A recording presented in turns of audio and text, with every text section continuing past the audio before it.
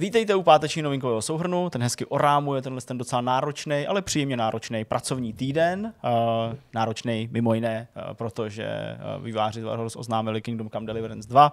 Uh, spoustu práce s tím bylo, tak tím i dneska začneme ten novinkový souhrn, ale máme tam spoustu dalších věcí. Třeba konečně jen tak představení nových formulí uh, bližší. Podíváme se taky na to, že vedle oznámení velkého českého projektu, jak se vyšel velký slovenský projekt, Vyvat Slovákia, ale těch českých a slovenských věcí nebo domácích věcí tam máme spoustu, plus třeba trofeje z PlayStationu na PC. Tak to je takový malý teaser toho, co vás čeká. Jdeme na to.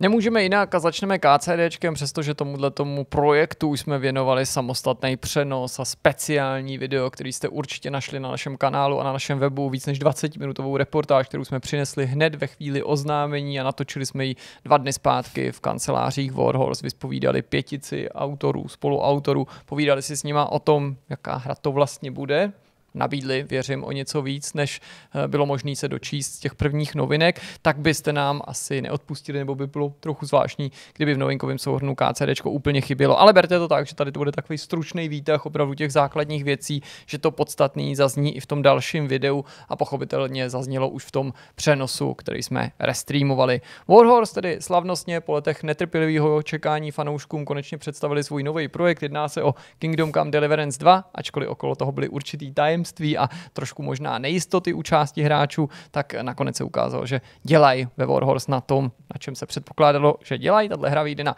PC a konzolích PlayStation 5 a Xbox Series. Už jsem viděl, že se rozeběhlo spousta spekulací, že to určitě bude i na čtyřku, protože tenhle důvod nebo tam ten důvod ne. Nic takového není oznámeno nikdy neříkají nikdy, ale v tuhle chvíli, jak to stojí a běží, autoři hru dělají na PC, PS5, Xbox Series, nemyslím si, že dorazí dodatečně už na ty starší konzole. Opět tenhle titul pohání CryEngine a vyjde ještě letos. Neznáme přesný datum do vydání, ale měli bychom se dočkat v roce 2024. Během té slavnostní premiéry to pokračování vedle samotných autorů prezentovali taky představitelé dvou hlavních rolí, herci Tom McKay a Luke Dale. Hlavním hrdinou je opět Jindřich, to asi nikoho nepřekvapí. Autoři přesto slibují, že Navzdory tomu, že příběh navazuje bezprostředně na události prvního dílu, takže se v něm rychle zorientují i úplní nováčci. Dvojka bude mít taky výrazně větší rozlohu. Hráče vezme hned do dvou otevřených map, kde navštívíme dominanty, jako je třeba hrad Trosky a hlavně město Kutná hora. Právě v Kutný hoře se natáčelo to video, který celý to, ten projekt představilo světu. Herní svět má být dvakrát větší než minule, ale třeba do původní oblasti už se znovu nevrátíme. Kutná hora je podle art direktora Viktora Hešla uh, něco, co představovalo velký krok kupředu pro studio, současně velkou výzvu, možná tu největší ve smyslu toho světa. Jde opravdu velký, bohatý město středověkou optikou, nic takového jsme neměli v prvním díle možnost spatřit. Bylo potřeba například dobře zvolit tu velikost toho města, jak to v té hře udělat, tak aby to působilo patřičně velkolepě, ale šlo uh, současně zaplnit to město smysluplným obsahem a taky samozřejmě postavama. Autoři znovu ale budou stavět i na pěkný přírodě, která teda částečně taky pomohla definovat ten první díl. Scenérie tady navíc má být o něco členitější než posledně, vzhledem k tomu, že se promění ta krajina, do které se vypravíme. No a vedle větší mapy Kingdom Come Deliverance 2 nabídne taky víc zbraní. Do rukou se nám kromě mečů, palcátů, seker a luku poprvé dostanou kuše nebo hraná zbraň na střelný prach. Ta sice bude mimořádně účinná, ale bude se taky dlouho nabíjet, takže když se netrefíte, tak už nebudete muset mít třeba k dispozici dostatek času, abyste tuhle chybu napravili. Přepracovaný byl i soubojový systém trochu, tak aby byl o něco přístupnější, ale současně zůstal pořád autentický výzvou a bojovat proti přesile bude podle Viktora Bocana pořád nebezpečný, pořád velice ošidný. Autoři tak lákají na víc než 5 hodin filmečků, příběh je podle Dana Vávry obecně delší, epičtější, soustředí se na významnější události. Samozřejmě pořád platí, že váš Jindra mm, jako takový bude tím Jindrou, který ho chcete mít. Lidi si budou pamatovat, jak se chováte, podle toho k vám následně budou přistupovat. Hra nabídne víc úkolů než první díl, chce nás přesvědčivěji ještě ponořit do té iluze skutečného středověku a kromě jiného lákají autoři na to, že postavy se mají chovat jako ve skutečnosti. Důležitou součástí hry podle Dana Vávry je pochopitelně taky hudba. Kdo hrál první díl, tak tím určitě nebude překvapený. O soundtrack se opět postaral skladatel Jan Valta a během představení hry jsme si mohli vyslechnout i krásnou hudební ukázku, která zazněla právě přímo v chrámu svatý Barboři v Kutný hoře. Na Kingdom Come Deliverance 2 pracuje 250 lidí, první díl dokončovala pro vaši představu 120 až 130 lidí, takže taky velký nárůst. Autoři říkají, že dvojka má přinést přesně to, o co usilovali už u prvního dílu, ale neměli k tomu vždycky dostatek zdrojů, času nebo zkušeností. Celý zážitek tým chce povýšit na novou úroveň, jakou si vždycky přál. To ale kromě jiného znamená, že dvojka je taky podle výkonného ředitele studia Martina Frývalského mnohem dražší než debit studia, což přirozeně obnáší nějaký další rizika. Martin Klíma zase zdůraznil, že autoři zůstali u technologie CryEngine, protože bylo jednodušší stavět na něčem, co už vytvořili a naučili se, než začínat úplně od začátku s novou technologií. Věří ale Martin Klíma, že přistoupili k té otázce optimalizace ještě zodpovědněji a hra tak snad líp poběží na současných konzolích, které jsou přirozeně taky výkonnější než konzole minulý generace. Poslední věc na úplný závěr. Český dubbing to měla být v tuhle chvíli ještě neznámá, Nakonec ta informace se dostala do světa dřív, než měla. Tu informaci zveřejnil distributor, kterým je společnost Playman. Zveřejnila ji předčasně, my už jsme pak nešli po těch důvodech. Faktem je, že autoři si přáli tu informaci původně nezveřejňovat. Eh, myslím, že to byli lidi z Indiana, kteří si toho všimli, ty zmínky o českém dubbingu v český tiskovce od Playmana jako první nebo minimálně mezi prvníma, jak jsme na to byli upozorněni během streamu. Ta informace se následně potvrdila, přestože my ještě během streamu jsme ji nemohli komentovat komentovat, protože jsme neměli k tomu souhlas a nevěděli jsme, co přesně se děje, když jsme se to snažili toho dopátrat. No a pokud vás zajímá víc další podrobnosti, tak eh, si poslušte tím, co jsem zmiňoval už na začátku, tou naší reportáží. Věřím, že tam najdete spoustu dalších zajímavých detailů přímo od autorů. Pojďme tedy dál od Kingdom Come Deliverance 2. Ten svět se nezastavil, by se to mohlo tady z našeho pohledu na pár minut skoro zdát. A vlastně v tu schodnou dobu, kdy tedy Warhorse představovali svůj nový projekt, tak eh, se taky ozvali výváři Schoolmasters a lidi z Electronic Arts, aby představili F1 24, tedy nový ročník eh, jejich už velice tradičně dlouhý roky běžící eh, závodní série. Co je jako důležitý říct, tak to video, který tomu předcházelo, nebo který doplňuje tu tiskovou zprávu, tak hodně klade důraz na to, že Electronic Arts už v loňském roce uzavřeli partnerství s Maxem Verstappenem. Uh, nejdřív to začalo nějakým logem na helmě uh, tohohle z toho úřadujícího šampiona F1, ale teď skutečně k té spolupráci má opravdu jako docházet těsněji a Max Verstappen uh, je i součástí vlastně toho oznamovacího videa nebo odhalovacího videa, nenutně v podobě svého digitálního avatara, ale tedy on sám skutečně natočen prostě pro potřeby marketingu téhle hry. Nicméně to je taková jako věc, která spíš rámuje to, co můžeme očekávat od té hry, protože Max Verstappen se má podílet na určitým jako, ehm, řekněme, komentováním toho, jak má ta hra fungovat a má poskytnout nějaký svůj pohled na to, aby ta hra byla ještě lepší v porovnání třeba s předchozíma ročníkama. Eh, odrazit se to má ve velké míře na novým jízdním modelu, eh, jako ve všech různých jiných případech her od EA Sports, tak eh, i v tomhle případě tady máme krásné označení Dynamic Handling, takže to je prostě takový ten reklamní slogánek k tomu, ale v podstatě má prostě jí to nový balíček, nějakých nových efektů, prvků, vlastností toho jízdního modelu, tak aby to prostě bylo přesnější a aby zase hráči po těch letech si mohli zvyknout na něco jiného a zase to hraní pro ně bylo novější. Takže eh, ten nový jízdní model bere v potaz celou uh, plejádu různých vlivů, uh, jako jsou jednotlivé vlastnosti těch okruhů v zásadě, ale samozřejmě aerodynamika uh, vozů, degradace pneumatik, uh, ale třeba i motor, uh, různý motory, různý chování uh, vozů. Uh, pak vlastně se to vylepší, ten jízdní model, zase se to projeví ve, ve aspektech, jako je projíždění zatáčkama, valivý odpor, tlak brzd, nebo třeba eh, všechno vlastně bude rámovaný teplotou trati, eh, ta se přenáší do pneumatik, zase odlišný jízdní vlastnosti na začátku nějakých stintů, eh, nebo na začátku nějakých částí toho závodního víkendu, v jiném počasí a tak dál. Hráči mají podle EA nebo podle té tiskovky dostat přesnější zpětnou vazbu, ve smyslu chování toho vozu a přeneseno do ovladače nebo volantu a tak dál. A to má v ideálním případě výst k tomu, aby podávali lepší výkony, protože víc budou rozumět tomu autu. Samozřejmě, nakolik je to jenom reklamní část tohohle oznámení, to se dozvíme, až ta hra dorazí. Co se týče dalších věcí, tak v tiskové zprávě se zmiňují třeba změny na tratích ve smyslu vylepšení stávajících tratí, které ve skutečnosti v reálu neprošly žádnou změnou, ale výváři se rozhodli přepracovat nebo upravit ten model, který mají v té svojí hře. To se týká zejména Silverstoneu, jak popisují v tiskovce, ale samozřejmě reflektují i ty skutečné změny na tratích provedený v reálu, to znamená tedy promítnutý i do té hry, jako třeba Vespa nebo, nebo v Jidě. Co je taková jako chytlavá věc, a to se mi líbí jako docela hodně, a jsem to rozhodl i do toho titulku, tak je vidět v tom, nebo slyšet spíš v tom oznamovacím videu, že vlastně ti piloti, byť se tam promítají nebo prolínají záběry ze skutečné Formule 1 a ty záběry z té videohry, tak je to takový trochu zavádějící, ale myslel jsem si už při tom sledování toho videa, že mířím správně a tiskovka to potvrdila. Jsou tam slyšet reální hlášky těch pilotů při nárazu, při vyjetí ztrati, při předjetí, tuším, nebo možná na konci Max komentuje nějaký své vítězství. A jsou to skutečně hlasy těch jednotlivých pilotů. Mm. A v tiskovce je potvrzeno, že opravdu výváři zapracovali ty hlasy přímo do té videohry. Něco, co měl třeba F1 manažer, co se nám líbilo, uh, tak je konečně i v F1 uh, hře od. Uh, zase nevíme, do jaký šíře, kolik hodin prostě si těch samplů vzali a použili. Toho materiálu zdrojových mají spoustu, tak snad to bude dobře implementovaný a snad to bude jako zábavný správný, mělo by to posílit celou tu atmosféru.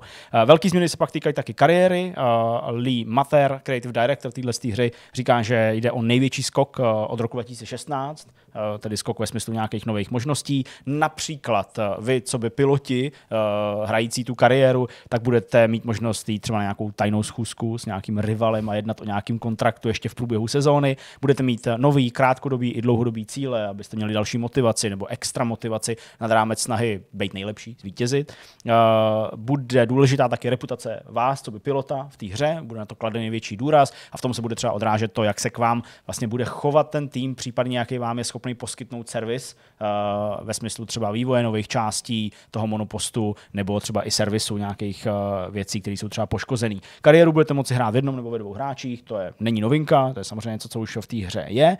A pak vlastně k těm kariérám přibyl takový nový speciální mod, nebo přibude nový speciální mod, uh, vlastně takový zkrácený kariéry, nebo zkrácený, pardon, ne kariéry, ale sezóny. Zkrácený sezóny, které budou vždycky navázaný na nějakého z vybraných pilotů. To se nebude týkat úplně všech. A uh, zatím výváři nepotvrdili jak, nebo nevysvětlili jak, ale komunita hráčů má mít možnost ovlivnit, uh, dejme tomu, složení té zkrácené sezóny, výběr nějakých scénářů, který ty budeš muset v té zkrácené sezóně jako zajet. A má to být takový zábavnější systém navázaný prostě na nějaký nenadálý události. Uh, co se týče ostatních herních módů, jako jsou prostě solo závody, time trial a multiplayer a tak dál, tak to všechno bude opět združený pod tou hlavičkou F1 World, stejně jako to bylo loni. Uh, F1 24 bude mít svůj Season Pass, Podium Pass, to je něco, co tam je dlouho. Uh, no a protože známe datum vydání té hry už nějakou dobu, 31. května na konci příštího měsíce uh, na PS4, PS5, Xbox One, Xbox Series a PC, tak samozřejmě běží před objednávky. Uh, vy si tu hru můžete předobjednat ve standardní edici za 1899 korun na konzolích a 70 euro na PC. Případně můžete sáhnout po edici Champions, eh, ta stojí 2399 na Xboxu, 2369 na PlayStationu a 90 eur na PC. Eh, tam máte možnost získat, nebo respektive koupí téhle edice, získáte 18 000 bitcoinů, eh, možnost samozřejmě využít v té hře pro odemykání nějakých kosmetických věcí. Pak, když si to předobjednáte, tu Champions edici, tak budete mít možnost použít aktuální vzhled McLarenu, Williamsu, Haasu a Alpinu v F1 23, takže se vám to promítne do té předchozí hry a pak budete mít třídenní přednostní přístup do té hry, něco, co má Jirka moc rád. Uh, a taky dostanete VIP Podium Pass, to znamená ten placený uh, Season Pass, nebo spíš Battle Pass, teda uh, placený uh, pro to, abyste měli další, další kosmetické věci. Plus ještě v té Champions edici budou dv, nejmenovaní dva veteráni z F1, ty ikony, které můžete použít, co by svého avatara do kariéry.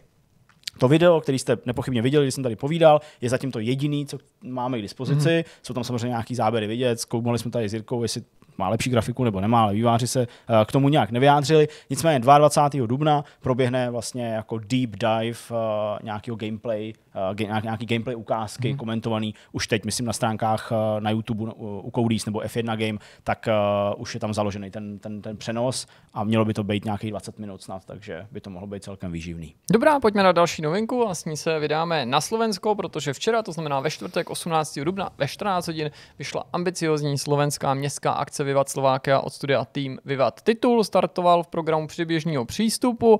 Autoři lákají na první polovinu příběhových misí a samozřejmě taky na slovenský dubbing. Svoje hlasy herním postavám propůjčili například Marian Labuda mladší, Kristýna Svaninská, eh, Michal Straka či Rudo Daniel. Eh, kromě slovenského dubbingu hra uh, nabízí i český a anglický titulky. V nadcházejících měsících se pak vývojáři chystají hru průběžně doplňovat o další obsah, naslouchat pochopitelně zpětný vazbě a samozřejmě taky opravovat chyby. Případní nedostatky můžou hráči hlásit prostřednictvím tlačítka, který najdou přímo ve hře. Vivat Slovakia se normálně prodává nebo bude prodávat za 28 eur, ale s 10% zaváděcí slevou ji můžete v tuhle chvíli v prvním týdnu ulovit za nějakých 25 eur přibližně. Hra by měla v Early Accessu strávit asi 6 až 12 měsíců, už na začátku nám ale bude k dispozici digitální Bratislava, přes 50 ovládatelných strojů, rozhlasová stanice LFO nebo některé vedlejší aktivity. Cena plný verze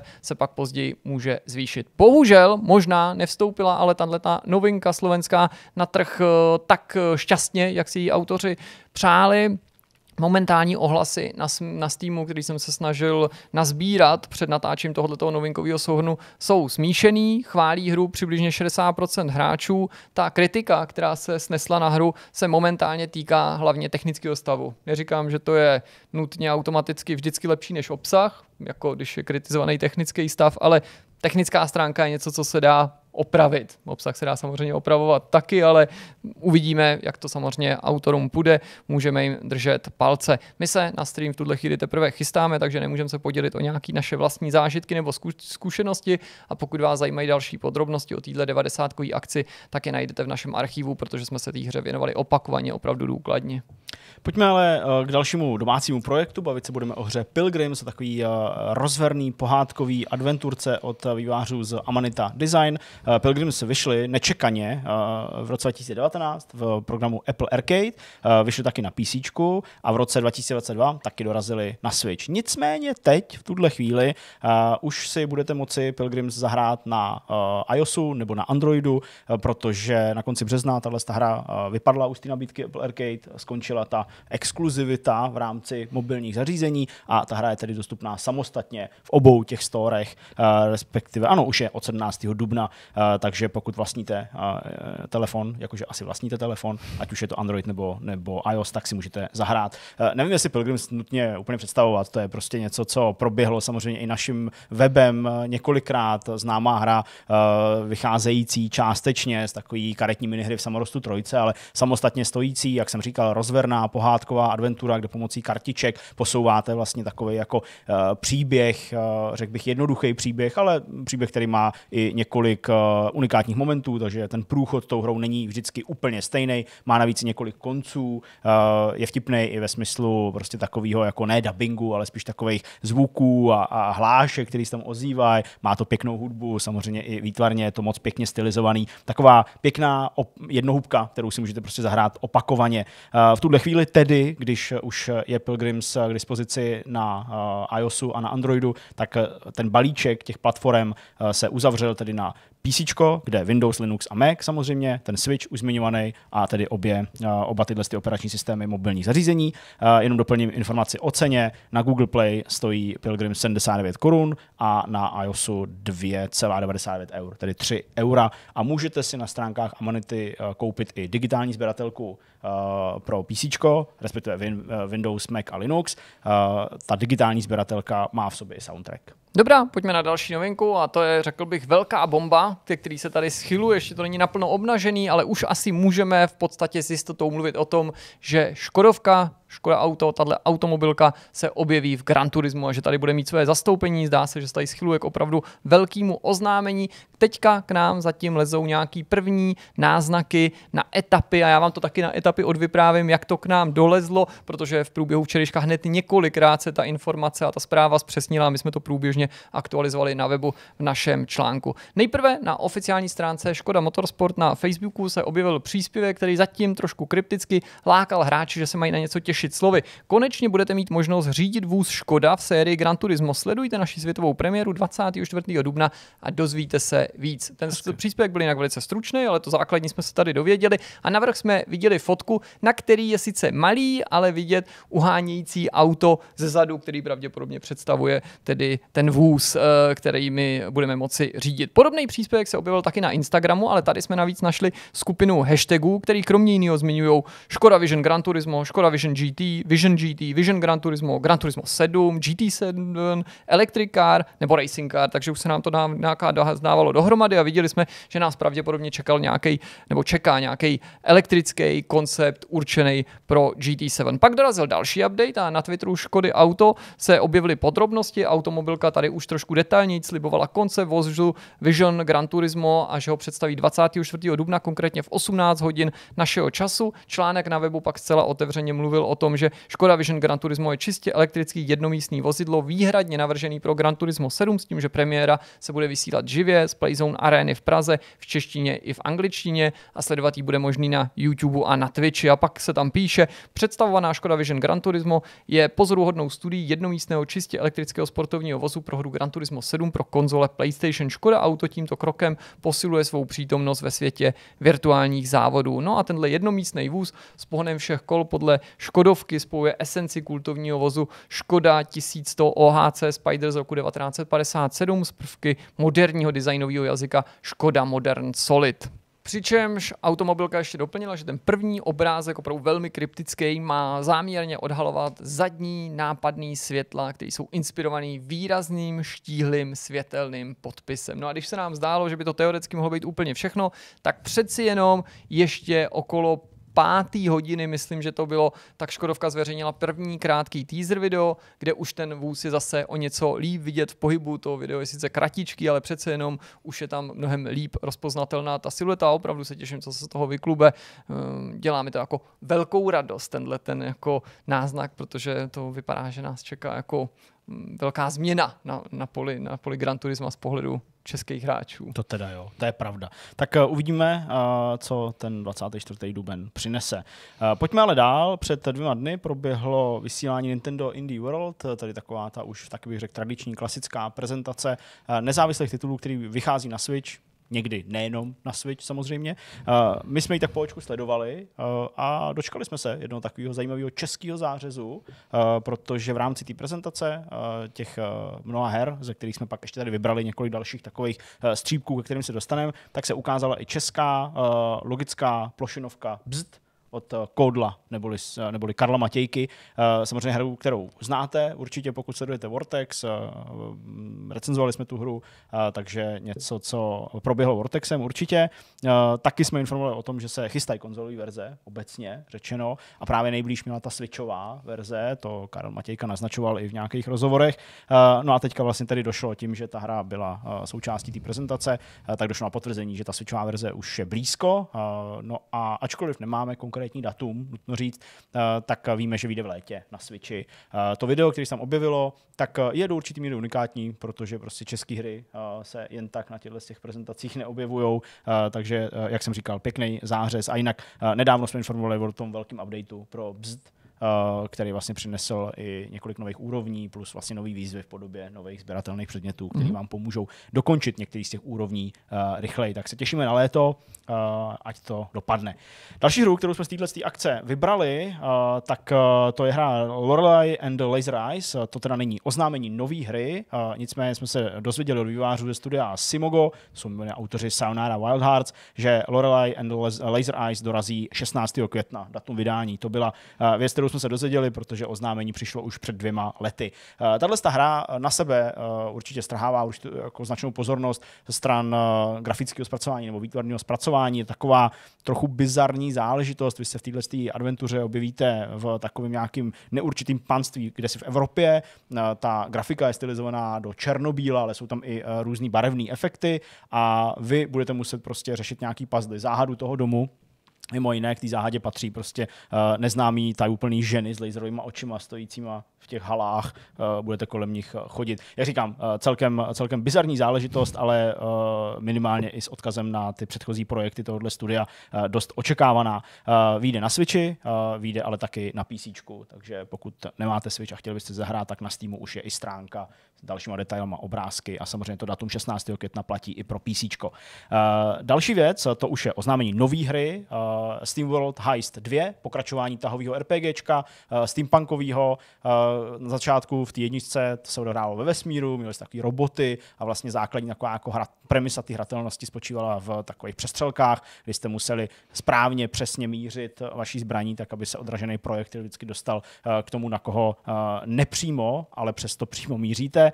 Teďka v té dvojce, čerstvě oznámený, tak se přesunuje ze smíru do moře nebo do hlubin moře a bude se tady řešit záhada uh, tý, uh, toho, toho moře samotného, mm-hmm. protože tyhle steampunkoví roboti uh, tak zjistí, a respektive, jo, oni zjistí, že voda má dost neblahý vliv na uh, jejich těla, že oni reznou, ale neví proč a budou se to snažit uh, zjistit. Ale samozřejmě nebude chybět uh, akce, nebudou chybět logické hádanky mm. v podobě prostě řešení těch jednotlivých úrovní. Hra dorazí 8. srpna na PC, P4, PS5, Xbox One, Xbox Series a logicky na Switch, protože se bavíme o tom, že byla na té prezentaci. Další záležitost, a to je vlastně poslední, kterou jsme tady vybrali, tak to je taková, taková unikátní věc, bych trochu řekl, protože je to pokračování hry, který přichází po 42 letech. Já jsem někde, myslím, na Polygonu tuším, nebo kde to bylo, tak uh, jsem to neověřoval, ale uh, na Polygonu psali, že to musí být buď to úplně jako uh, nejvzdálenější pokračování, jo. nebo prostě největší. Jo, ničím mezi tím. Jako... Přesně ničím mezi tím, anebo minimálně jedno z těch jako hmm. úplně nejdelších čekání no, to na se, nějaký to se říkalo, že KCD2 je dlouho čekávaný pokračování. 42 let jsme čekali na Jars Rising, pokračování hry Jars Revenge z roku 1982, uh, ze hry, která vyšla původně na Atari 2600. Uh, v případě Jars Rising nepůjde o 2D z boku viděnou akci, ve které byste ovládali co si, co vypadá jako, jako nějaký vetřelčí létající robot, střílející po nějakých uh, nepřátelích. Uh, tohle bude Metroidvanie, Uh, pracuje na tom studiu Way Forward a je to hra, která sice možná jako příliš nepřipomíná tu svoji toho, tu, tu jako první hru, ale vlastně jsou tam takový určitý efekty, určitý jako momenty, které vlastně uh, vypadají skoro až identicky v některých hmm. případech. Jo? Takže uh, je to trochu jiný žánr, je to trochu jinak pojatý, ale vlastně těch pomrkanců je tam poměrně dost. Uh, jak jsem říkal, je to Metroidvania, budete hodně skákat, uvidíte to z boku, samozřejmě budou sám odemykat uh, různé části uh, toho prostoru, kde se budete pohybovat. Tady budete hrát za člověka, ne za vetřelčího brouka a uh, celkově to vlastně působí jako takový hezký retro pomrknutí na lidi, kteří třeba v roce 82 už byli na světě a třeba dokonce už i hráli videohry. Uh, Tahle záležitost přijde někdy v letošním roce, dorazí na PC a na, uh, na konzole, když to řeknu takhle, P4, PS5, Xbox One, Xbox Series a Switch. Já tady mám taky retro pomrknutí na lidi, no. kteří hráli už v 80. letech. Tihle se mohli dokonce narodit o něco málo později, nebo si to mohli hrát, zahrát někdy ještě později, třeba v 90. letech, protože třeba u nás se Golden X stal obrovský fenomén. U nás v Česku se to v 90. strašně moc hrálo na PC, na konzolích, ale taky na automatech, které k nám dorazily, na klasických videoherních automatech, takže mě třeba tahle mánie hodně zasáhla a proto mi udělala velkou radost zpráva, že se Golden X dočká seriálové adaptace vlastního animáku, vlastní adaptace, i když samozřejmě ještě přesně netušíme, co se z toho vyklube, ale vzniká to u Comedy Central, dělají to Mike McMahon a Joe Chandler, to mají zkušenosti z věcí jako Eric and Morty, Star Trek Lower Decks nebo třeba American Dead, takže asi už na základě toho si dokážeme udělat lepší představu, kam asi budou mířit. O animaci se postará animační studio Titmouse, seriál budou produkovat CBS, I Animation a Sony Pictures Television. No a není to poprvé, kdy slyšíme o nějaký adaptaci seriálu podle Golden X, mluvilo se o tom už v minulosti, například vlastně před deseti lety, v roce 2014, ale teď už to vypadá, že se to opravdu zhmotní. Objednáno bylo 10 epizod, vystupovat v nich budou samozřejmě ty postavy z těch her, takže už určitě vám to naskakuje, kdo byl nejoblíbenější, kdo druhý nejoblíbenější pokol jste se jasně Srpasí byl nej, takže o to jste se porvali, ale ta druhá volba ta je taková pošidná. Chlápek je sice ne, střední, střední, ale lepší je holka, protože tam má nejsilnější holka. magiku. Magika. No, magika prostě. Doufám, tej, tehdejší terminologie doufám, že, že, že, na štírcích budou skákat do propastí. no a uvidíme samozřejmě, jak to bude vypadat, jak to bude pojatý. Já osobně si myslím, že to vsadí na hodně bláznivou atmosféru ala ty Lower Decks, jo? že to bude jako záměrně střeštěný. Ta hra střeštěná nebyla, ale že tady to bude posunutý do takový jako až parodického rozměru, kde ty postavy prostě si možná budou utahovat z těch svých někdejších stereotypů a jsem na to zvědavý, jako nečekám jako nějakou autentickou adaptaci, ale kdyby to bylo fakt jako pojatý jako komedie a bylo to dobře napsaný, tak by to mohlo být docela vtipný, přestože to třeba s tou hrou nemusí mít tolik společného, ale jako jo, mají tam vystupovat ty hrdinové, budou tam vystupovat i padouchové, budou tam určitě všechny ty monstra místa, ale spíš mě zajímalo, co tam povedou za, za ty dialogy. Já si představit, že nějaký jako uh, výměny názorů ohledně kopání trpaslíků do zadku mm, a, a odnášení magik, to samo o sobě vlastně je celkem zní jako něco, co může být dobrý námět k diskuzi. To doufám, že to bude dobrý. Tak od retra zase pojďme k něčemu ryze aktuálnímu. Bavit se budeme o Ghost of Tsushima na PC, ale uh, i o věcech, které s tím jsou spojený a jsou potenciálně zajímavý pro ty z vás, kdo třeba vyzobáváte hry od Sony, který se postupně na PC objeví. Ale já začnu s tím Ghost of Tsushima. Uh, na začátku března oficiální potvrzení Ghost of Tsushima uh, na PC v Director's Cut verzi. Známe datum vydání 16. května letošního roku. Dočkali jsme se už uh, v tom březnu prvního traileru, nějakých informací. Teďka výváři přináší něco trochu, uh, trochu víc. Uh, takže komunitní specialista uh, Julian uh, Huybrechts tak mluví o tom, že vás čeká na PC odemknutý framerate, podpora širokolých monitorů, podpora technologií NV, NVIDIA DLSS 3.0, AMD FSR 3, Intel XES nebo NVIDIA Reflex, taky NVIDIA DLAA, podpora ovladačů DualSense, včetně haptiky a triggerů na PC, ale taky podpora funkcí z PlayStationu, který jsou tou novinkou, protože Ghost of Tsushima jako první hra od Sony na PC dorazí s úplně unikátním novým overlayem, překrytím přes tu vaši hru, který vás vlastně částečně dostane do ekosystému PlayStationu. Po stisku Shift F1 uh, se vám objeví taková stylizovaná obrazovka, v rámci které budete mít uh, k dispozici základní komunikační a komunitní funkce. Uvidíte svoje přátelé mm-hmm. z PlayStation Network, když tam budete připojený. Budete mít možnost s nimi komunikovat uh, přímo v místnostech nebo prostě v party, takže váš mikrofon a váš hlas tedy bude slyšet do té party i u lidí, kteří budou na PlayStationu. Uh, bude tady zachovaná díky tomuhle overlay uh, cross-platform funkcionalita, takže v tom online novém režimu, který se jmenuje, a já vím, ho to jen pojmenovaný, už se nepamatuju. Uh, no, no to je asi tak Legends, nebo jak takhle? Přesně tak, dobře si to pamatuješ. Tak v tom online novém režimu Legends budete moci spolu komunikovat a hrát tedy napříč těma platformama. A co je taky důležitý, tak díky tomuhle překrytí, díky tomuhle overlay přijdou na, Playstation, na PC trofeje z PlayStationu. Spekulovalo se o tom. Spekulovalo se o tom dlouho, tak se to konečně potvrdilo. Čili vy budete moci hraním klasicky získávat PlayStationové trofeje, takže pokud uh, prostě máte uh, Ghost of Tsushima na PlayStationu, třeba pak taky, nebo se vám koupíte, tak ty trofeje, které odemknete na PC, se vám odemknou i na PlayStationu a opačně. Pokud jste hráli na PlayStationu Ghost of Tsushima, uh, připojíte se logicky tím svým network, PlayStation Network účtem, uh, který je mimochodem nezbytný pro hraní právě toho režimu Legends, tak vám docinkají trofeje mm. už i na PC.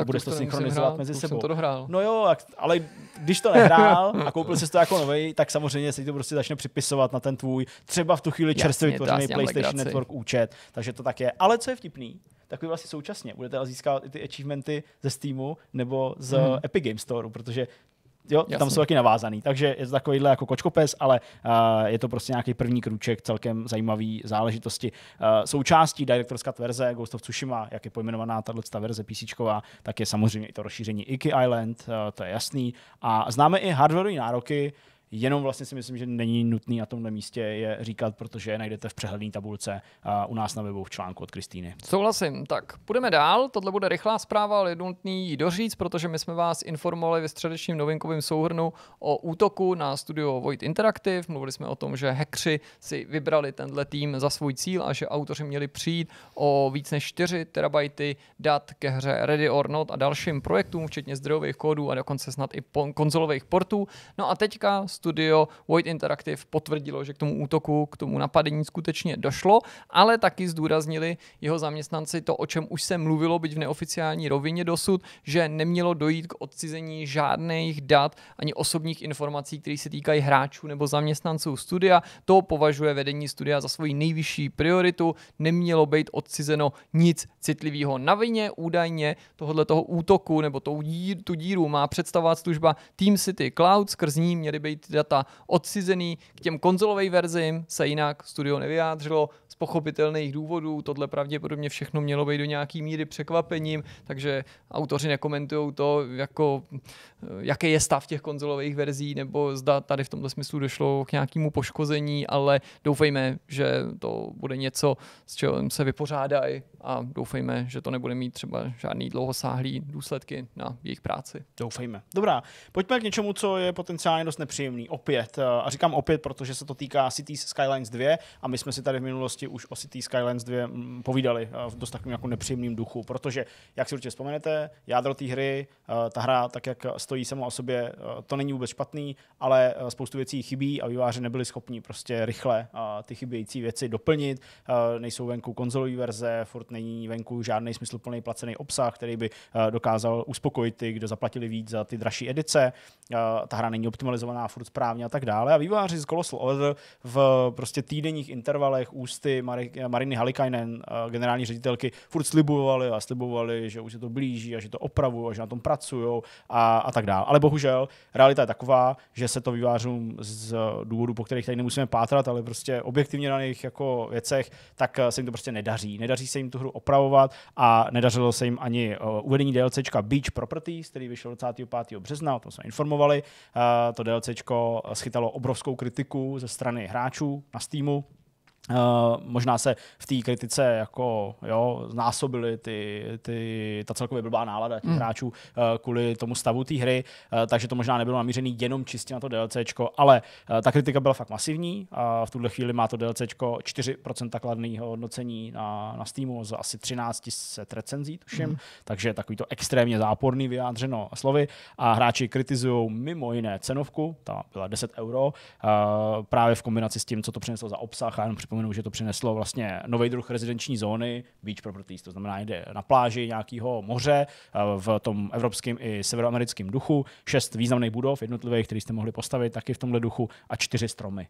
To byl obsah tohohle hmm. DLCčka. Hráči kritizovali, že prostě tohle vypadá jako nějaký balíček, prostě, který by neměl stát nic v ideálním mhm. případě a přesto to bylo DLCčko. No a protože ta kritika byla jako dlouhá relativně, tak 25. to vyšlo a teď je to skoro po měsíci a nějak se to nezlepšilo, ani nepřišly žádný významný updaty, tak se ozvali výváři z Colossal Order, že to teda hodně pokazili, pokadili taky možná a omluvili se stáhli z prodeje tohle DLCčko, hmm. řekli, že ho nechají hráčům prostě ten obsah zdarma v té hře jako hmm. takový, že uh, opravdu a vysypali si uh, tuny a tuny popela na hlavu. Uh, rozumíme zklamání, které mnozí z vás vyjádřili po vydání hry City Skylines 2 i nedávném uvedení Beach Properties. Uh, žádali jsme vás o trpělivost a podporu, kterou jste projevili. Na oplátku jsme vás ale zklamali. Eh, to napsala právě Marina Halikainen, generální ředitelka studia, ale taky zastupující generální ředitel Paradoxu, vydavatele téhle hry Matias Lilia. Eh, obecně přiznali, že si prostě mysleli, že jsou schopní v nějakým jako reálným termínu vynahradit všechny nějaké nedostatky hry hráčům, kteří si eh, tu hru koupili, ale že jednoduše to nezvládli. Kapitulovali prostě právě tím tvrzením, že DLC stahují z prodeje a že ten obsah teda dávají hráčům zdarma a rozhodli se hráčům vrátit peníze zpátky. Mm. To bohužel sebou přináší pár nějakých nepříjemností. Pokud jste si to DLC koupili přímo, to znamená zaplatili jste 10 euro k vaší standardní edici, tak se vám vrátí peníze a obsah budete mít ve hře.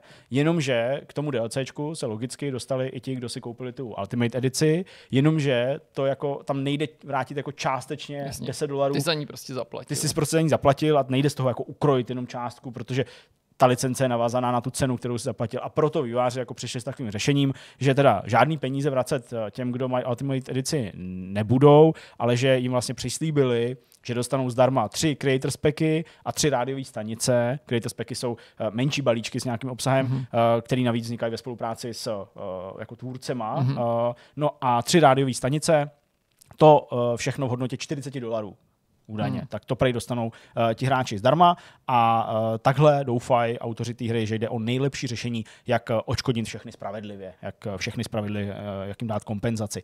No ale pak přichází důležitější zpráva, uh, která je navazaná na tohle fiasko s tím DLCčkem. Výváři prostě řekli, že uh, v tuhle chvíli fakt musí opravit tu hru, a nemůžou pracovat na žádných placených velkých DLCčkách, takže všechny, všechny které se plánovali, to nejbližší to byly nějaký ty uh, něco, mosty a přístavy nebo něco takového tuším, tak nejdřív v příštím roce mm a teď budou prostě opravovat a vydávat jenom ty creator specy, které teda vznikají uh, díky komunitě částečně a samozřejmě budou vydávat peče, updaty, ale prostě ne ten nový obsah. Za to se znova omluvili uh, a řekli, že prostě to jinak bohužel nejde, aby se vůbec dohrabali k nějakému uspokojivému stavu té samotné hry. A tím, jak se snaží opravit tu PC verzi, tak se podle svých slov jako blíží k vydání té konzolové verze, ale ta teda nevíde na jaře, protože prostě jaro končí v zásadě.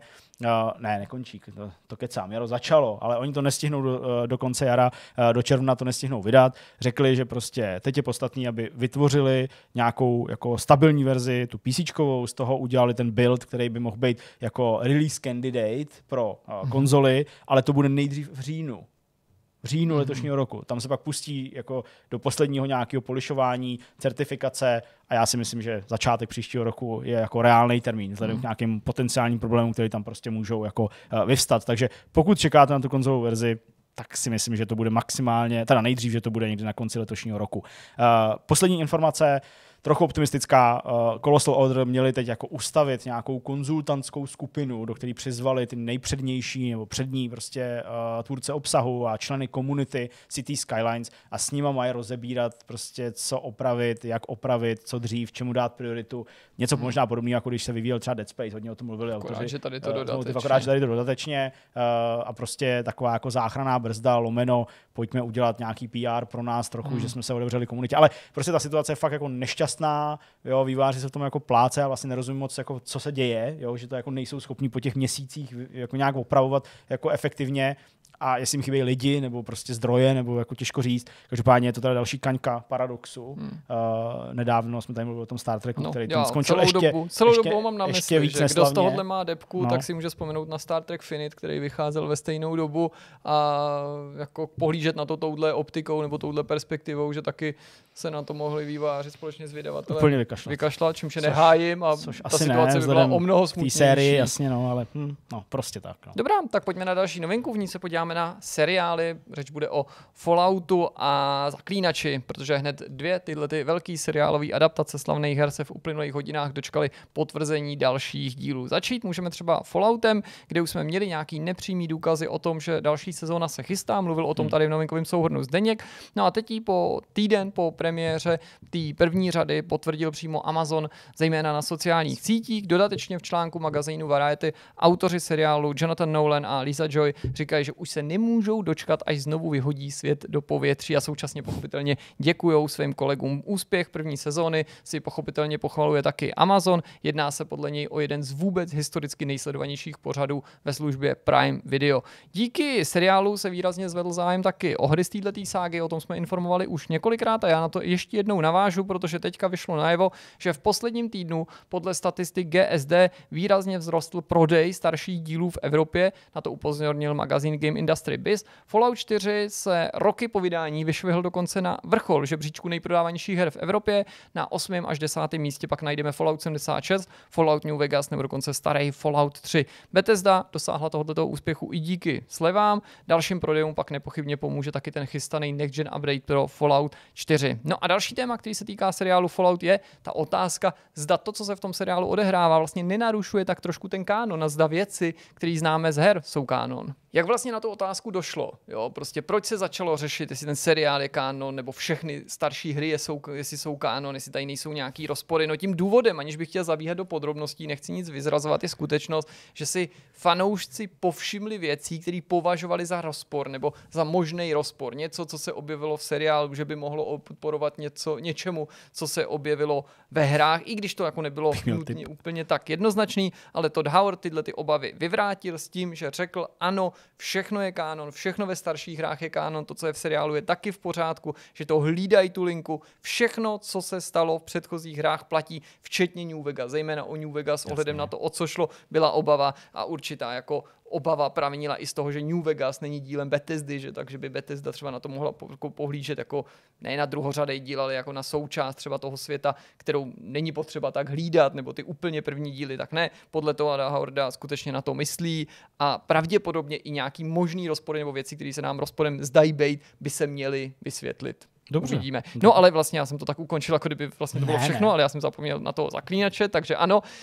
E, další na řadě je ten, ten zaklínač, seriálová adaptace, protože Netflix potvrdil, že se tenhle seriál dočká pátý sezóny a ta bude současně tou poslední. Showrunnerka Lauren Schmidt Hisrich slibuje epický a uspokojivý závěr seriálu. Mezitím se pracuje už na čtvrtý sezóně, která vzniká ve Velké Británii. Geralta bude, to určitě dobře víte, to není novinka, hrát Liam Hemsworth, který vystřídá Henryho Kevilla. Hemsworth bude točit i tu pátou sezónu, nejen čtvrtou, nebude tam samozřejmě žádný další střídání. K obsazení se taky připojil Lawrence Fishburne, o tom jsme taky informovali na webu i v novinkovém souhrnu už před časem, to je nějaký ten pátek, kdy to bylo oznámený. Čtvrtá a pátá sezóna přitom mají pokrýt knihy Křest ohněm, Věž vlaštovky a paní jezera. Henry Cavill popřál Liamu Hemsworthovi hodně štěstí, ten se samozřejmě těší na to, jak převezme tu štafetu, říká o sobě, že je fanoušek zaklínače a chválí výkon svého předchůdce, sám sebe označuje za Kevillova fanouška.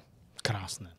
Pojďme ke studiu Larian. Uh, pojďme se bavit o Baldur's Gate, Baldur's Gate 3, protože tahle hra se dočká dalšího velkého peče, peče číslo 7 a teďka se uh, už uh, mluví docela nahlas o tom, co můžeme očekávat od tohle z toho peče, nebo co bude jakým highlightem. A jedním z těch highlightů má být rozšířený uh, evil konec, nechci úplně spojovat a říkat detaily, ale uh, na, tenhle ten, na, na tyhle ty konce, on jich bude víc, se uh, nedostalo tolik, uh, jako na ty ostatní konce, když Larian na konci roku přinesl, na konci loňského roku, přinesl takový ty epilogy, nebo takový ten mm. epilog rozšířený, jo, že prostě tam ty postavy potkali po nějaký době a, a rozebrali všechny ještě neuzavřené linky a podobně. Takže uh, teďka by se teda mělo dostat na ty evil konce, uh, bude jich víc, uh, přibudou tam nějaký nový cutscény, uh, dojde tedy k ukončení těch různých volných konců nebo k zavázání volných konců do těch linek, které jste si rozběhli a uh, to všechno by prostě mělo dát hráčům nějaký uspokojivější pocit z toho závěru, třeba když to budou hrát po 25. Uh, bude tam nová hudba taky, nebo pár nových nějakých skladeb, uh, výváři logicky opraví chyby a co je taky důležitý pro ty z vás, kdo se rádi rejpete ve videohrách a vytváříte něco vlastního, tak uh, dorazí konečně oficiální mod tooly, tedy nástroje pro vyrábění modů. Uh, Funkce crossplay a fotomod, ty zatím nepřijdou s tím patchem 7, ale výváři to připomněli, řekli, že to ví, že to je určitý závazek a že v dalších uh, na tomhle zapracujou. Mm, Co je taky důležitý pro ten patch, nebo pro jeho vydání, pro tu sedmičku tedy, tak je to, že výváři potvrdili, že v nadcházejících týdnech pozvou nějaký hráče k tomu, aby zkoušeli testovací verzi, takže to znamená, že ten patch prostě není za rohem. Mm-hmm. Několik dalších týdnů ještě Jasně. bude trvat, než uh, ho výváři odladí a než vyjde. Uh, teď už ale pojďme k Larianu jako takovému, protože vy víte, uh, už to není úplně nějaká jako, uh, čerstvá informace, už to je nějakých pár týdnů dozadu, tak výváři Larianu potvrdili, že z Baldur's Gate 3 uh, skončili svoji éru u Baldur's Gate, že nebudou pokračovat ve vývoji téhle série, že už uh, tedy to přenechají někomu jinému. Uh, ty důvody jsme popisovali a jsou ve článku u nás na webu, můžete si to dohledat. Každopádně teďka Sven Vinke uh, prostě mluvil o tom, že uh, pracují teda už na nových titulech. Uh, řekl, že uh, mají dva docela zajímavé náměty, dva, naj, dva zajímavé nějaký nápady, že jsou velmi ambiciozní, uh, že to jsou hry, které vždycky chtěli dělat. A Vinke říká, že pokud to dopadne a pokud to zvládnou, jakože neví, za to zvládnou, jakože jako za toho budou schopni, takže uh, pokud to zvládnou, tak to bude to největší a nejambicioznější, co kdy vytvořili. Uh, pořád by to ale mělo, podle rozhovoru na magazínu IGN, pořád by to mělo být něco, co Larian uh, jako dělal v minulosti, byť s nějakýma novýma věcma. A ty nové věci tady právě Vinke komentoval a řekl, že by to mohl být třeba uh, styl té samotné hry, nebo třeba způsob práce, mm-hmm. jaký výváři jako vykonávají uh, v zájmu toho, aby tu hru dokončili, tak to prej může být nový. To prej se může změnit. Takže asi to bude nějaký RPGčko, asi, ale nemusí to nutně připomínat Divinity a Baldur's Gate, může to být prostě něco trochu jiného. Dobrá, jdeme dál, už jsme tady měli seriály Golden Axe, Fallout a Zaklínač a teďka nás čeká Destiny, teda vlastně nečeká, protože to mohlo být, ale není. Zdá se nicméně, že nechybělo moc a vedle mnoha jiných adaptací jsme se mohli podívat právě třeba taky na Destiny v podobě animovaného seriálu. Studio Bungie mělo vyjednávat s Netflixem v tomhle případě, uvedl to Paul Tassi z magazínu Forbes ve svém videu na svém kanálu na YouTube. Příprava seriálu se ale podle něj nedostala příliš daleko, není jasný dokonce ani to, o čem přesně by ten seriál pojednával nebo jak těsně by kopíroval děj těch existujících her. Všeobecně se předpokládá, že o tom projektu se uvažovalo ještě předtím, než studio Bungie koupila společnost Sony, nicméně ani Sony se při té akvizici netajila ambicí učinit ze značky Destiny a obecně projektů od Bungie mm, něco, co by přesahovalo svět videoher. Samozřejmě k tomuhle tomu má výrobce PlayStationu Sony celá Sony myšleno uh, dobrý podmínky díky těm četným televizním a filmovým aktivitám a ceřiným společnostem. V každém případě v podání Sony jsme se ale zatím nedozvěděli, že by se z Destiny měla vyklubat nějaká další adaptace. Tady nemáme nic, kromě té počáteční ambice. No a i když samozřejmě nevíme, jak by Destiny v televizi nebo ve filmu mohlo vypadat, tak já jsem si dovolil k tomu svý, svý novince přinést takový přání, že bych byl opravdu rád, kdyby to mělo třeba podobnou atmosféru,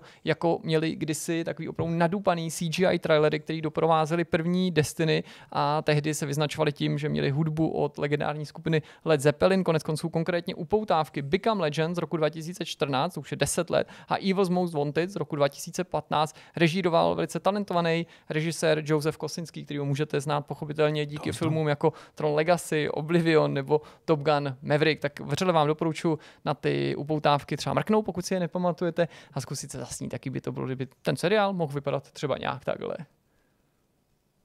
Hmm. No, Co dobrý. Dobrý, veď? Jo, jo, Dobrý, se no. to. Dobrý.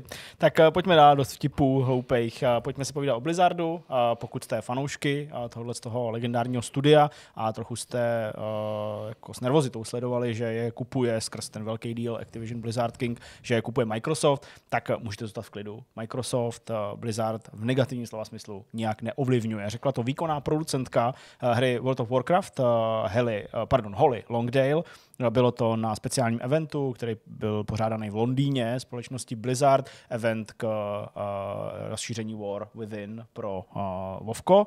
No a tam právě proběhlo několik rozhovorů, tohle bylo konkrétně tedy pro uh, VGC, ale mám tady ještě pak už střižky nebo takové střípky z rozhovoru pro Eurogamer. Tady právě s redaktory VGC Holly Longdale řešila uh, to postavení Blizzardu v té struktuře, nové struktuře pod deštníkem uh, Microsoftu. Říká, nikdo po nás nic nechce v tom smyslu, jako že nikdo po nich nešlape, neříká jim, co mají dělat. Vovko si vede velice dobře, uh, všichni jsou na nás hrdí, takže nás nechávají, abychom dělali to, co zvládáme skvěle, podporují nás a nechávají Blizzard Blizzardem. Tím myslela samozřejmě teda lidi z Microsoftu, čili uh, mají docela jako, prominentní postavení. Pak uh, v rozhovoru pro ten Eurogamer, jak jsem říkal, tak uh, tam padl dotaz, zda můžeme očekávat, že by se Vovko, World of Warcraft, objevilo na konzolích, protože, a to právě říkal ten redaktor toho Eurogameru, kdy jindy než teď, když vás koupil Microsoft, máte k Xboxu velice blízko, tak uh, by to dávalo smysl.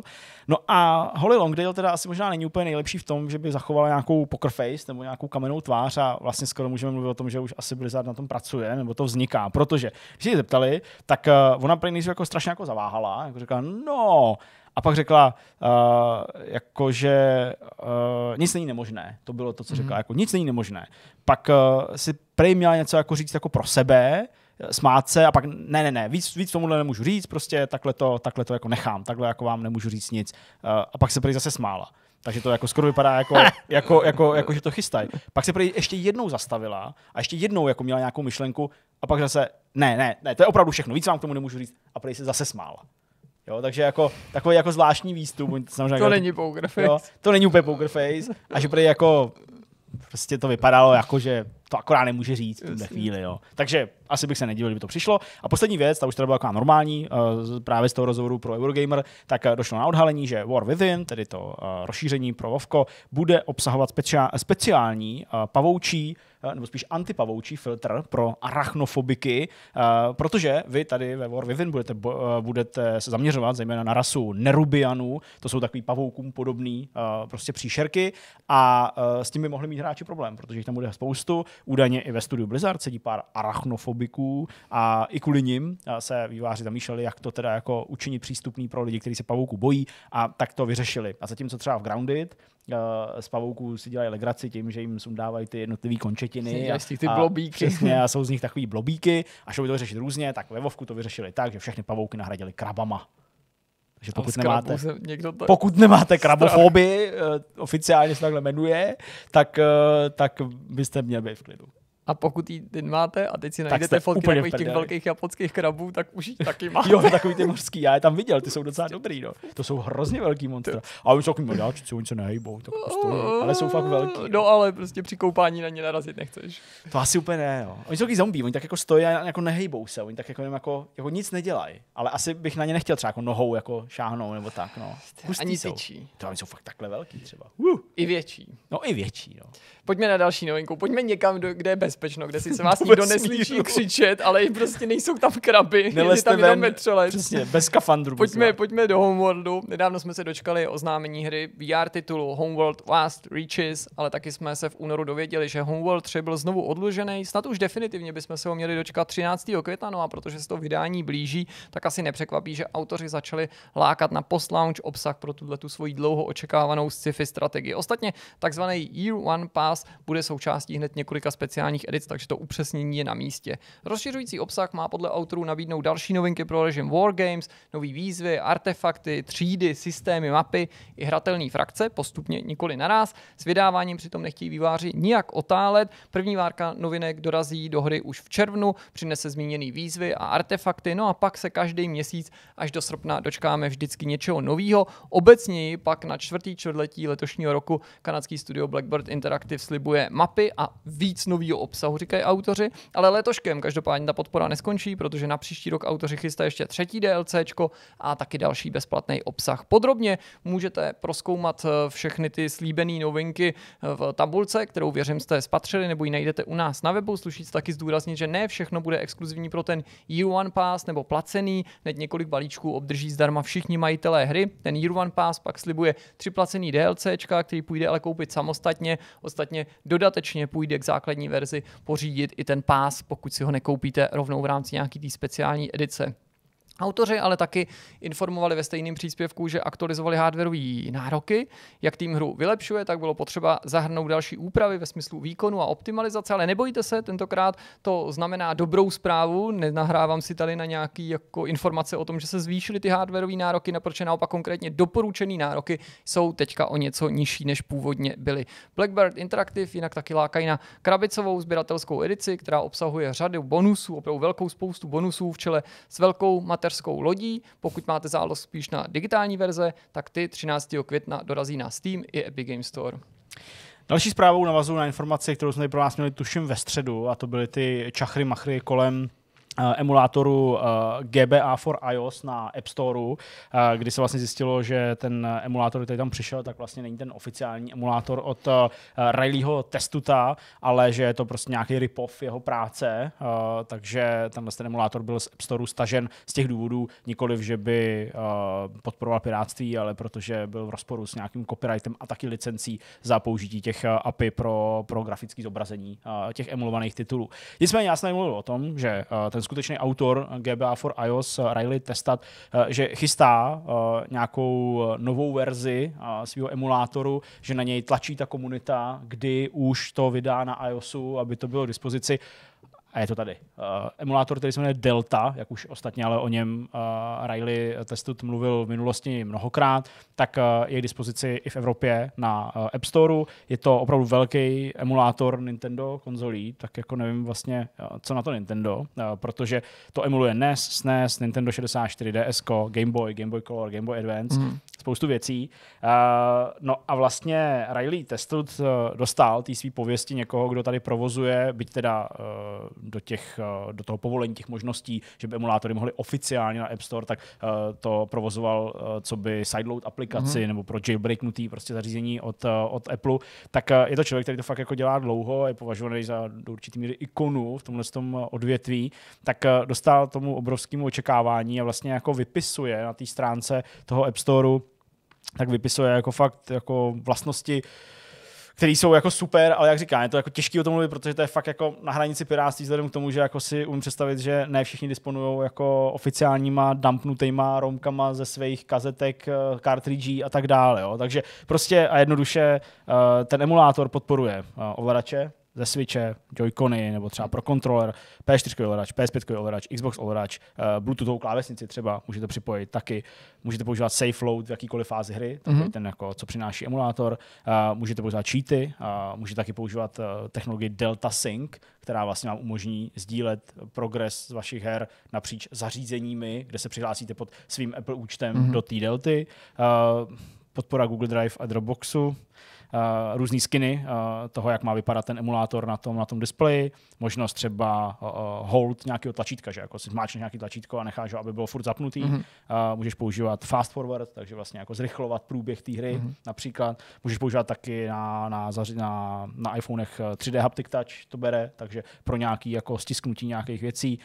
Gyroskop třeba pro WarioWare Twisted uh, nebo mikrofon pro deskové hry taky hmm. funguje, takže takový to foukání do lodiček hmm. a podobně, něco takového.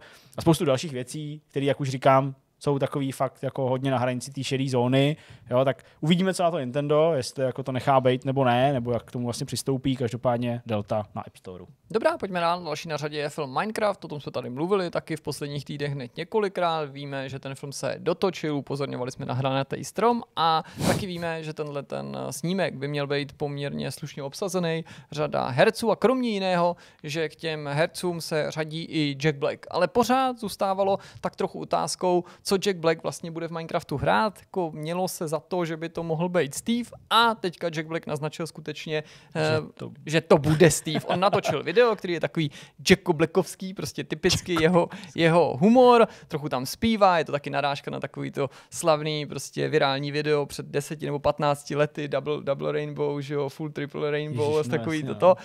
Míří do karavanu, na karavanu je jako list papíru, na listu papíru je logo Minecraftu a taky jméno Steve. Vypadá to, že to je jeho karavan, karavan Jacka Blacka, tedy že tam má to jako svý alter ego, prostě videoherní uvnitř toho karavanu, jsou na okýnkách nějaký obrázky Steva.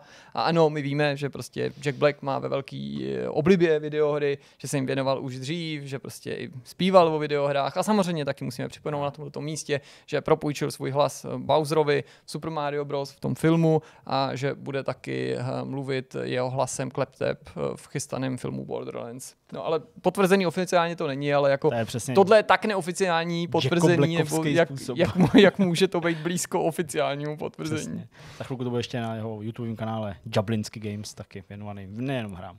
Dobrá, tak uh, pojďme dál, pojďme ještě vlastně jenom k Falloutu, uh, k něčemu, co tady Jirka už načal, tak já vlastně budu pokračovat.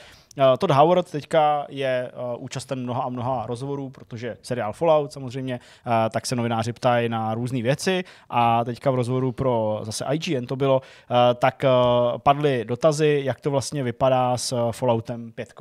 Uh, tady je nutný připomenout, že v roce 2022 uh, vlastně Todd Howard v jednom z těch rozhovorů v tom roce řekl, že jako Fallout pokračovat bude, ale někdy až po Elder Scrolls 6 a od té doby vlastně považovaný za polooficiální potvrzení, že prostě Bethesda hmm. pracuje na Falloutu 5 nebo prostě na nějakým dalším Falloutu, byť to samozřejmě oficiálně žádnou tiskovkou nikdy nepřišlo a tak dále. Každopádně teďka teda se ho znovu uh, IGN ptali, jestli to pořád platí z toho roku 2022, jestli teda přijde nějaký Fallout po Elder Scrolls 6, zvlášť teď teda ve světle úspěchu toho seriálu a on řekl, já se vyhnu tomu, abych vám tady dával nějaký data a termíny. V tomhle směru jsem se už hodně poučil. Teď se soustředíme na Elder Scrolls 6, ale to neznamená, že nehýbeme s dalšími věcmi, Hmm. Že se jako něco neděje, ale nechtěl to žádným způsobem dá rozvádět, což chápu. A ještě takový dovětek ze stejného rozhovoru, kdy se ptali na Starfield, protože by se mohlo zdát, že kolem Starfieldu je vlastně docela ticho. My tady furt máme nějaké informace, nebo si čteme z nějaké informace o nějakých modifikacích a tak dál, ale jako oficiálně jako nic moc se jako neděje. My jasně, my víme, že letos se vyjde datadisk Shattered Space, někdy letos, ještě nemá termín, ale Todd Howard potvrdil, že na Starfield rozhodně nezapomněli, že připravují skvělé velké věci, že se tím pořád zabývá značný jako množství vývojářů a že skutečně jako se mají hráči těšit na nějaké další updaty a nějaké další aktualizace. Dobrá, pojďme dál. Tohle není úplně jízdní řád, ale vybrali jsme pár titulů a zmíníme, odkud kam putujou. To je, myslím, docela přesný popis, byť trochu kryptický toho, co se děje. První na řadě je hra Kena Bridge of Spirits, povedená docela věcička, taková hra pro celou rodinu, která původně vyšla už v roce 2021 jenom na PlayStationu a PC. Všeobecně se mělo za to, že půjde o nějakou formu konzolový časový exkluzivity a teďka prošla ratingem v ESRB a vypadá to, že míří na konzole od Microsoftu na Xbox Series. Ostatně autoři nikdy nevylučovali, že by tuhle hru chtěli dostat na jiné platformy, naznačovali, že by to bylo fajn, ale že v době, kdy ta hra vycházela, se soustředili na PC a PlayStation. Další podobný případ je Darkest Dungeon 2, hra, která je naopak k dispozici dispozici už nějakou dobu na PC a míří na PlayStation. Na PC hra vyšla loni v květnu, ale tady už víme oficiálně, že na PlayStation 5 a PlayStation 4 Darkest Dungeon 2 vyjde 15. července. No a pak je tady ještě jeden titul, to jsem zařadil pak na poslední chvíli, kdy jsme se připravovali, protože jsme se dověděli, že Prison Architect 2, který měl původně být v březnu a pak v květnu byl bohužel znovu odložený a teďka poměrně jako významně dočkáme se ho, pokud všechno klapne 3. září. Další zpráva se týká vás, fanoušků uh, hry uh, The Wolf Among Us, anebo už skoro série uh, The Wolf Among Us, protože se budeme bavit o druhém díle. Bohužel pro vás teda nemám žádné informace uh, ve smyslu toho třeba, kdy ta hra konkrétně dorazí, nebo nějaký videa a tak dále, ale na blogu uh, vývářů z Telltale se objevily z čistá jasna čtyři nové obrázky. Výváři eh, k ním napsali opravdu pár větiček. Eh, žádný jako nějaký eh, elaborát prostě o aktuálním stavu, nic takového. Napsali, neozývali jsme se, protože máme plné ruce práce, abychom splnili všechny sliby, které jsme vám dali ve spojitosti s The Wolf Among Us 2. Říkají tedy, že nenesou žádný konkrétní novinky a informace, ale že se prostě chtěli podělit o to, jak ta hra vypadá aktuálně, v aktuálním buildu. Slíbili, že gang z Fabletownu, že se vrátí a potvrdili, že prostě práce na přípravě té hry, eh, že pokračují. Neřekli nějak extra jako dobře nebo špatně, prostě jenom, že pokračují. Každopádně, pokud jste fanoušky uh, The Wolf Among Us, uh, tak je vlastně nutný říct, že tohle je takový jako, jako sladkobolný, jo? hořko sladký, protože sice tady máme nějaké obrázky a furt tady máme tu hru a ta hra už je ve vývoji jako sakra dlouho, respektive na ní čekáme sakra dlouho, hmm. protože to úplně původní oznámení, to přišlo v roce 2017, ale problémy Telltale jo, vedly k tomu, že prostě ten projekt se jako pozastavil zastavil, pak se jako vlastně v zásadě zrušil a to druhý oznámení, teď vlastně ty jako aktuální hry, tak přišlo v roce 2019 a to už je taky skoro mm-hmm. pět let, to mm-hmm. už je docela dlouho, v té době bez data, kdy to má dorazit, ale pak přišla informace, že v roce 2023 to dorazí.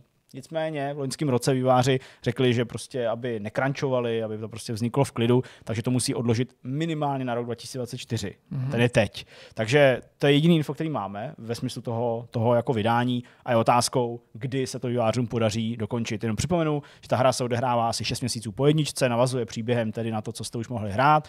Uh, Bigby se stal šerifem a Sněhurka šéfovou policie. Uh, budete, jak jsem říkal, v New Yorku v roce 1980 řešit další pohádky, další příběhy. Hra běží na Unreal Engineu, bude opět epizodická, ale vývojáři z Telltale se poučili z vlastní historie a už dřív řekli, že sice bude epizodická, ale že vlastně oni jako uh, začnou vydávat první epizodu, až to budou mít kompletně celý dokončený. Mm-hmm. Takže jako nebudou to vyvíjet během toho, Jasně. což jim srazilo vás v té první éře. Dobrá, pojďme na další novinku, tedy doufejme, protože doufejme, že na řadě je Medieval 2, to je hra, o který budu mluvit, respektive remake Medievalu 2, který by se mohl objevit na akci PlayStation Showcase nebo na nějakém State of Play, ale obecně snad by se mohl objevit na nějaký akci Sony v květnu letošního roku. Tvrdí to alespoň eh, uživatel s přezdívkou Oranží, který předtím úspěšně předpověděl a u, předčasně poslal do světa informace, které se týkaly série Gravity Rush, včetně adaptace. Uh, Medieval 2 má být ve vývoji ve studiu Other Ocean Interactive, to je tým, který vytvořil kompletní remake už prvního dílu. Ta dvojka má být ve vývoji dokonce už od roku 2021 a měla by skutečně výjít už v květnu letošního roku. Nikoli být oznámena, ale výjít. A protože dosud oznámená nebyla, tak se má za to, na základě těchto těch neoficiálních zpráv, že by mohla být oznámena a rovnou vydána, co by překvapení, co by Shadow Drop právě na nějaký akci Sony. No a jsme na konci, máme pro vás takový drobný zvířátko, i když ne úplně jako takový jako veselý.